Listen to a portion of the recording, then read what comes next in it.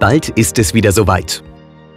Der MedAT, das Aufnahmeverfahren zu den Studien Human- und Zahnmedizin an den MedUnis Wien, Innsbruck, Graz und der Medizinischen Fakultät der JKU Linz findet statt.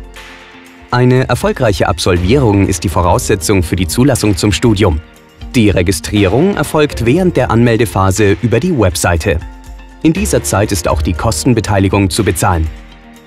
Eine sehr gute Testleistung ist für einen Studienplatz notwendig. Es gibt aber keinen Mindestpunktewert. Studienplätze für Humanmedizin werden nach Kontingenten vergeben. Daher ist auf die korrekte Einordnung zu achten.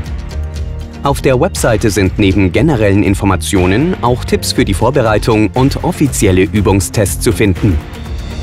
Kostenpflichtige Unterlagen oder Kurse sind somit nicht nötig. Jetzt informieren: medizinstudieren.at